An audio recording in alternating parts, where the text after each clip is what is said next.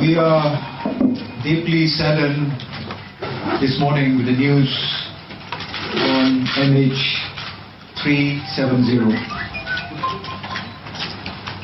Malaysia Airlines confirmed that this flight, MH370, lost contact with Subang Air Traffic Control at 2.40 a.m.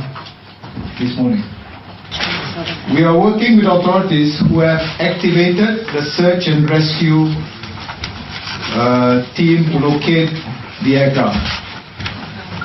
Our team is currently calling the next of kin of passengers and crews.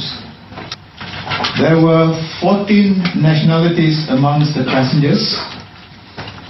Uh, just to go through the detail, China, we have 152 plus one infant.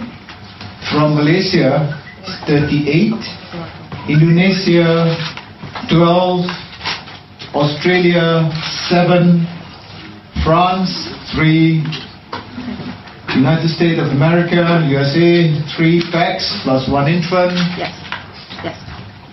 New Zealand, 2. Ukraine, 2.